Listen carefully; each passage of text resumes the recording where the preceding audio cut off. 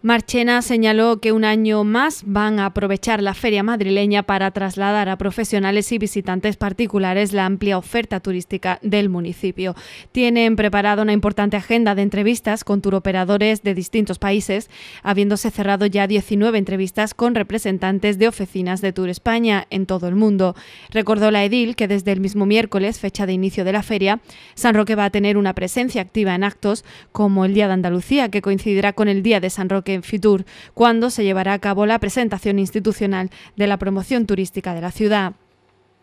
Además, el jueves a mediodía se recogerá el diploma que acredita la renovación por parte de la Oficina Municipal de Turismo de la Q de calidad que concede el Instituto para la Calidad Turística de España. Finalizó indicando que con la presencia de San Roque en Fitur quieren difundir la gran cantidad de posibilidades turísticas que atesora el municipio y sobre todo atraer el mayor número posible de visitantes. Eh, tenemos preparada una amplia agenda, como decía anteriormente, con turoperadores de distintos países para trasladar pues cada una de las ofertas que previamente llevamos preparadas desde la propia Delegación de Turismo y vamos a comenzar el miércoles con esa amplia agenda que decía. El miércoles también tendrá lugar el Día de Andalucía en el pabellón de Fitur, también continuamos el mismo miércoles eh, conjugando esas citas con los distintos turoperadores con la presentación del Día de la Ciudad que tendrá lugar a las 11 horas de la mañana. Y también vamos a tener el placer de recoger directamente en Fitur, eso será el jueves a las 12 de la mañana aproximadamente. Como decía, eh, recogeremos la Q de calidad que ha sido concedida a la ciudad de San Roque en cuanto a servicios turísticos se refiere, en este caso por el ICTE, por el, Instituto de Calidad Turística Española y sin duda supone reforzar el trabajo y la calidad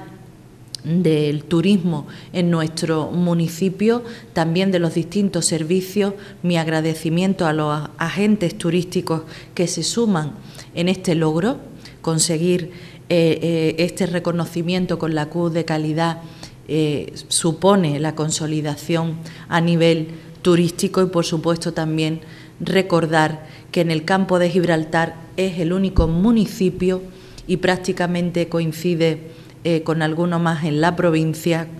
que conlleva la obtención de este reconocimiento, de este galardón a la calidad turística.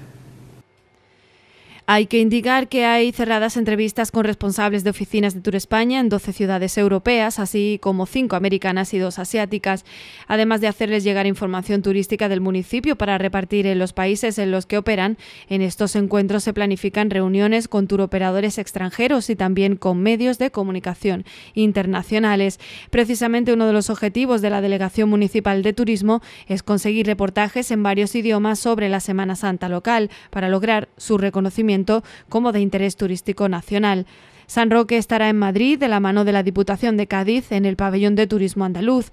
Más de 9.000 expositores podrán visitarse durante la próxima semana en Fitur 2015, la edición número 35 de esta Feria Turística Internacional, en la que estarán representadas 165 países y regiones. Entre las novedades, dos nuevas secciones dedicadas a turismo de salud y de compras.